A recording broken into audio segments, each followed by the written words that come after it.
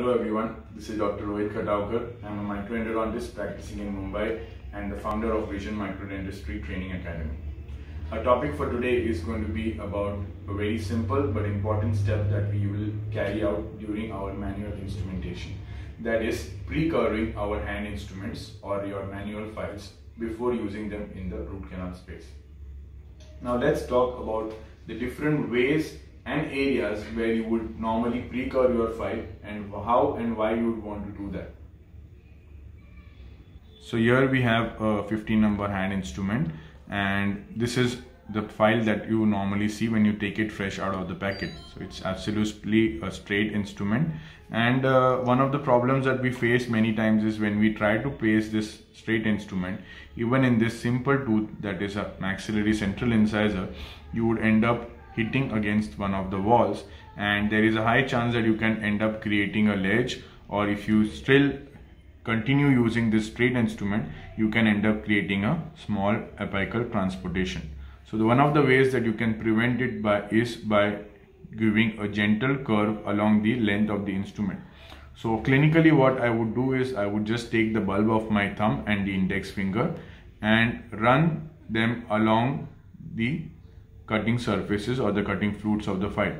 You see what this does? It gives a very small gentle curvature along the entire length of the instrument.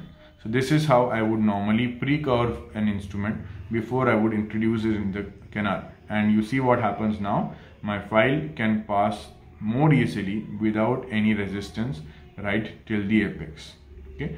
So this is how I would normally pre-curve the file when I am placing them for routine cases in case there are certain situations where I would want to have very specific curvature I may not be able to get that with just my fingers. In such cases you can use a bird beak plier or very simply you can use a universal orthodontic plier which is I'm sure available in your operatory.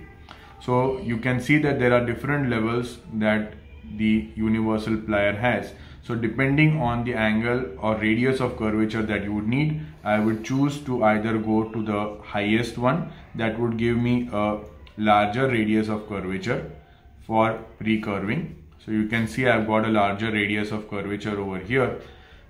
this enables me to negotiate a canal which has a curvature somewhere deep that is below the middle third of the root canal space.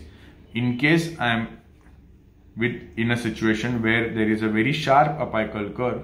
In that case I would go to the smaller end of the universal plier and give a smaller radius of curvature. Okay? Now you can see I've got a sharp curve over here. This will enable me to negotiate the curvature right in the apical zone or if I have a situation where I need to locate a lateral canal or try to scout for some lateral or accessory canals, then I can give this kind of a sharp apical curvature. Another area where I would want to have a specific curvature is when I am doing a ledge correction. So for a ledge correction, I would keep two things in mind. One is that we determine the radius of curvature according to the area where we need to correct the ledge. So if it's a very sharp bend, in that case the ledge might get corrected but there is a high chance that your file might also kink in the process of pre-curving it.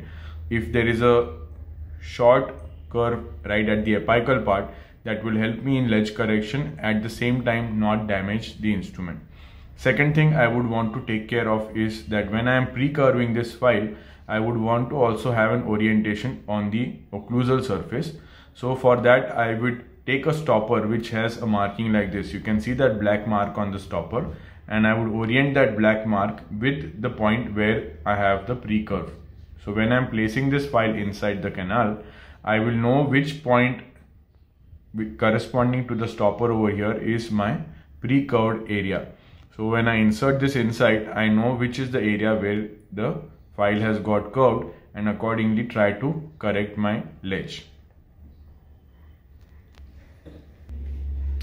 So I hope this information on pre-curving your hand files was useful for you. In case you have any doubts, please feel free to comment down in the sec comment section below. Uh, also follow us for regular updates. Thanks.